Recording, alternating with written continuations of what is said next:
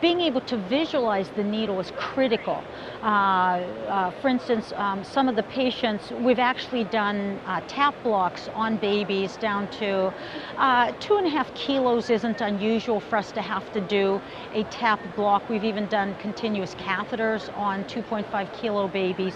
Uh, and we really want to know where the tip of the needle is because in the small infants, the abdominal wall may only be, each of those muscle layers may be only 70 millimeters uh, thick, which is 0.7 centimeters.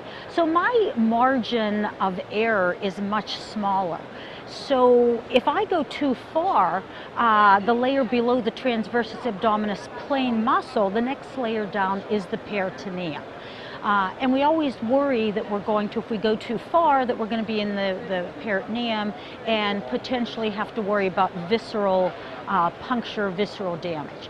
Uh, so I want to know, I want to have a needle that I can control very, very precisely and one that I can see very, very well the whole time.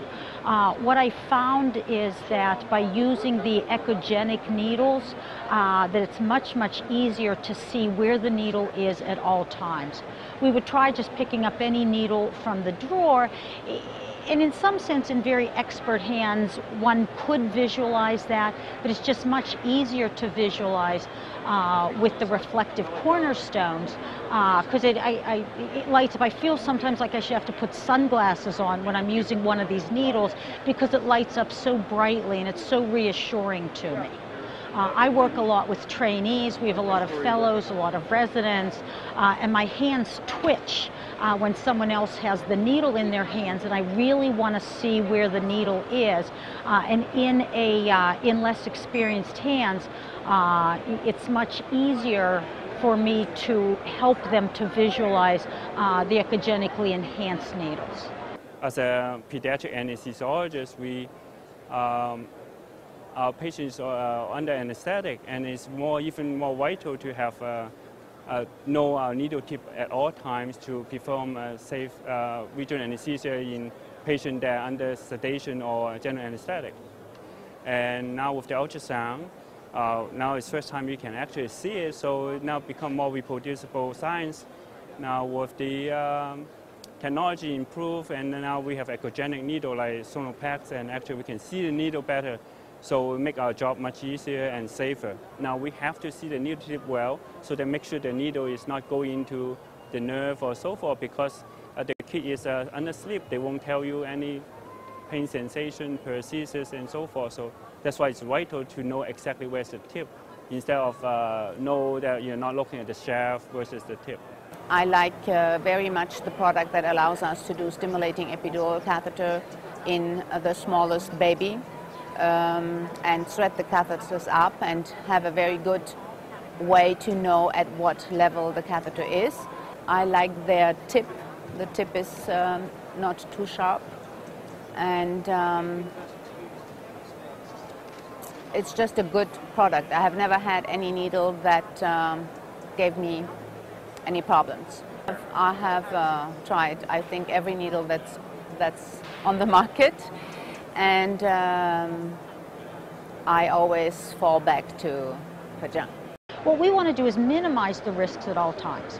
In babies, because of the uh, minuscule, uh, diminutive structures, the target structures we're aiming at, uh, we can improve efficacy uh, by being able to see where the needle tip is.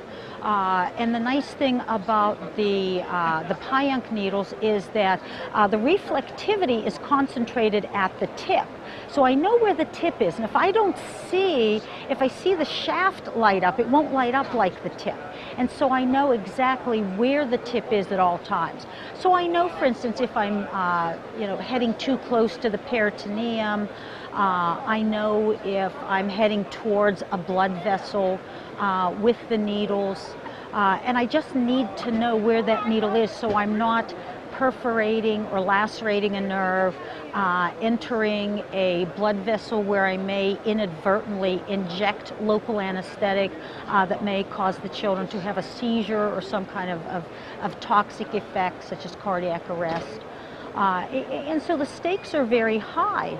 uh, when we're putting these needles in. So we really, it's, it's, it's very much a safety issue to know where that needle is at all times.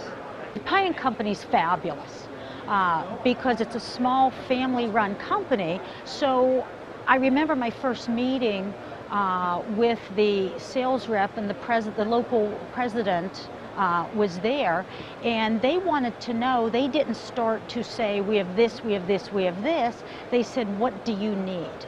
And I said, "Well, you know, I've tried some of your products, but frankly, this one isn't sharp enough. This one isn't dull enough. This one isn't short enough." Uh, and what they did was they said, "Well, well, talk to us." And what they've developed is a special product, uh, a special needle called the SonoTAP uh, that we use for all of our tap blocks. It's a sharper needle. Uh, they made a short one. They made me one in 40 millimeters. That was a little too short, so now it's 50 millimeters. Uh, but they've changed over over the course of my relationship with them when I would say I need a different product uh, and they're a small enough family run company that if I need something, they are able to provide it.